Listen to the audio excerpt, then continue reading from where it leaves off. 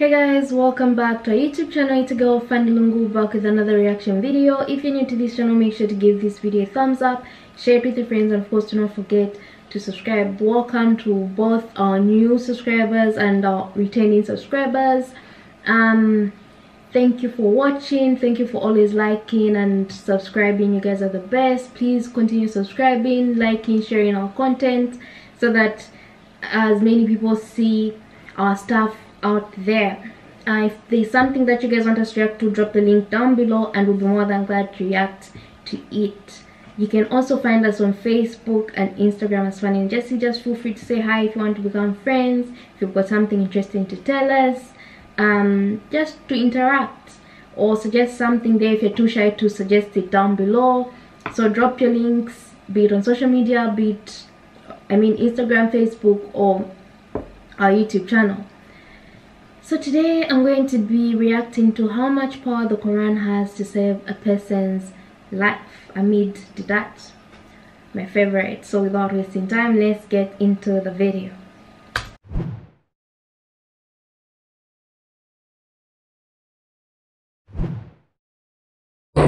Mr. Deedat, I'd like to say to you that the Christian had no power to heal the sick.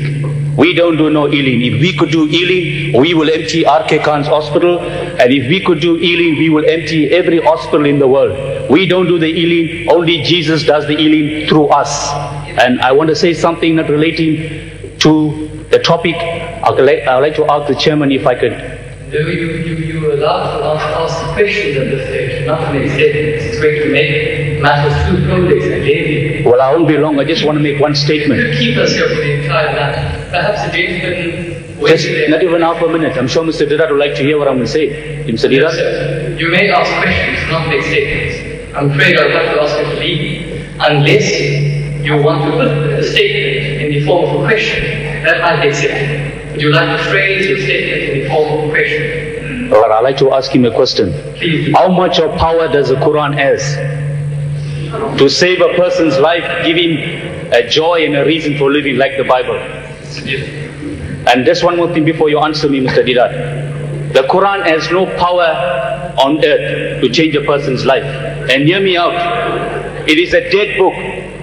It is unreachable, unidentified. I think you've asked the question. Okay, thank you, Mr. Deedat, and hope it sink into your spirit. Thank you.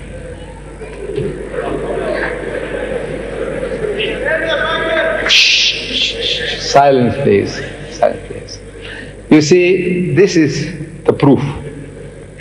This is the proof. This is not unique to this hall.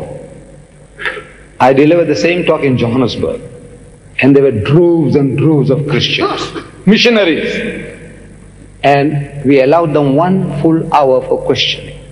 And there was not one question on what I had said. There is no Christian born who can contradict anything that I've said tonight. There isn't one born. Irrefutable evidence I have given you. Now you have to come and tell me that this chirp was a flying saucer or it was a, a helicopter. Tell me, tell us, tell these people here. No, there isn't. This is what happens. Allah describes it to us in the Holy Quran. Al. When truth is hurled against falsehood, it knocks out its brains. No questions. I tell you, I guarantee there's not, there are no questions. This, this is a lesson for the Muslims. That look, Allah has given you that power. I tell you, there isn't a Christian born who can answer what we have presented tonight. That this is not befitting the majesty of God, the language, the stories. I, I haven't come out with the whole. I just put them aside. I said, look, i rather give you a chance in case you said, look, this guy spoke for two hours and he's not giving us any chance. There's hardly any questioner. Look at this. They droves and droves in Cape Town, droves and droves, and they set the words in the, through the grapevine. Don't go and ask thee that questions. You're going to make a fool of yourself. So they don't want to come forward. So you make charges. What has the Quran done? So look, Islam through the Quran, through this one verse, it eliminated four major evils. One verse. I quote, Bismillahir Rahmanir Rahim. Ya ayyuhalladhina amanu. Say, oh you who believe. innamal khamru, most certainly intoxicants, wal maisiru and gambling, wal ansabu and fortune telling, wal aslamu and idol worship, rizum min shaitan, are an abomination of Satan's handiwork, fajtanibuhu la'allakum tuflihun. When this verse was revealed, wine barrels were emptied in the streets of Medina, never to be refilled the most perfect, complete, and lasting revolution in the history of mankind. One verse, and the evil was abolished for good. No more idol worship, no more uh, fortune telling, no more alcohol. This one verse created the biggest society of teetotalers in the world. The Muslims are the biggest society of people who don't imbibe alcohol. Look, this one verse did it. What are you talking about, dead book? This book with all your miracles, with all your miracles. Ask Swaggart now with all his miracles. You worship him. I know the, my Indian Christian brethren.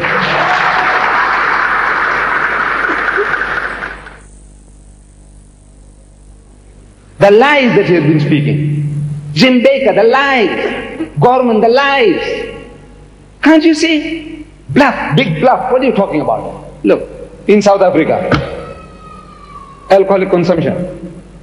Statistics, statistics, they tell us that the Muslim is the lowest alcoholic consumption in the country. These are your statistics. They have no statistics for Africans, they have no statistics for Indians. But they say the colored community, five times the amount of alcoholics as any other race in the country. Five times the amount. The Malay is a color. It's a Muslim. That's the identity is the color identity He the colors. The Muslim Malay, the lowest in the country, the Christian colored, five times the amount of any other race in the country. This is what your book has done. I said 8% of the white people who read this book, incest, incest, incest are committing, creating, committing incest. 13% of the American people are committing incest. What are you talking about changing your life? I want to know what life it has changed. Is this? Come forward. Look, I said that what I have presented to you, I presented a case to you. I said, look, this is not befitting God. This is not the word of God. Contradictions abound. You say one or none, 36,000 difference, 440. Jesus, come on, man, come on. And you want me to give you? You read the book of Ezekiel, chapter 16, verse 25, read it. No, you don't know the book. He said, not about the Bible. He doesn't read the Bible. He's a newborn Christian. He's a new Christian. He doesn't read the Bible. Jesus saved him and it heals people. What is this? I have spoken for an hour and a half. Were you listening? Was my English too hard on your ears? What is it? What has happened to you? No, the Quran gave the answer. Brains is knocked out. Come forward. Let's see these brothers here. If you have any question on the subject, come, welcome.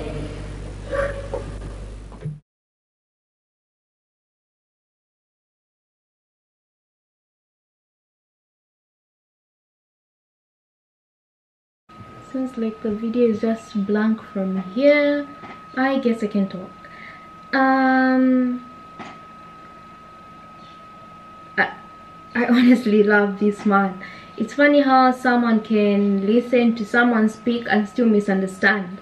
Sometimes we people already have answers to certain things that even when someone drops gems on us gems of knowledge bulk of knowledge, whatever kind of knowledge on us, we're just not ready to listen.